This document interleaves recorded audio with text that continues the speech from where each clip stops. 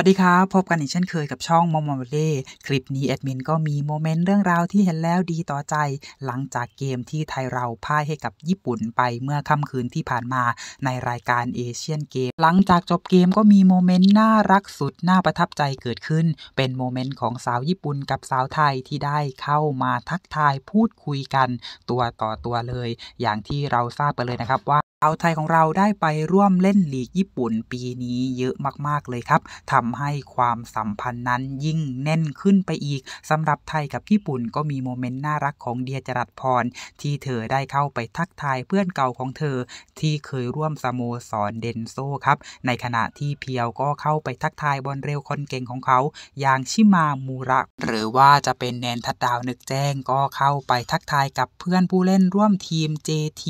อดีตทีมของของเธอรวมทั้งทักทายเพื่อนใหม่ของแนนทัดดาวด้วยครับ ก็ถือว่าเป็นโมเมนต์เรื่องราวน่ารักครับ ของสาวไทยกับสาวญี่ปุ่นที่เห็นได้ชัดเลยว่าโมเมนต์แบบนี้เราจะยิ่งได้เห็นกันอย่างแน่นอน หลังจบลีกญี่ปุ่นในฤดูกาลที่จะถึงนี้ เพราะว่าสาวไทยของเราได้ไปร่วมทีมใหม่ ๆ แล้วก็ได้ไปเจอกับดาวตบของเขาหลายคนเลยครับ อย่างเพียวเดี๋ยวก็ได้ไปเจอกับโคกะด้วย สุดยอดสุดปังมาก ๆ เลยครับ สาวไทยรอชมรอเชียร์สาวไทยของเรากันต่อในลีกญี่ปุ่น หรือว่าจะเป็นวันนี้เอเชียนเกมพบกับเจ้าภาพอย่างจีนครับ